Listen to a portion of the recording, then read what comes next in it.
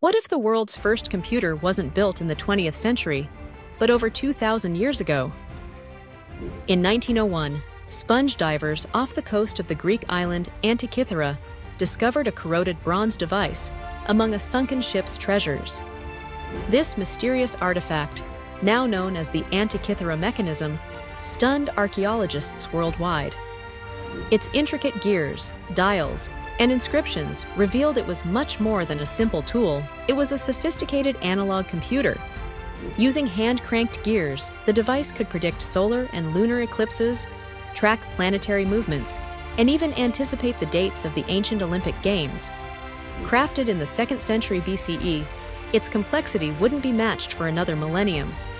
Advanced X-rays and 3D imaging have revealed over 30 bronze gears crafted with astonishing precision demonstrating a level of mechanical engineering thought impossible for its time. But who made it, and how did ancient Greeks acquire such advanced knowledge? The Antikythera mechanism remains a remarkable testament to human ingenuity, challenging our understanding of technology's origins and highlighting the enduring power of information in shaping civilizations throughout history.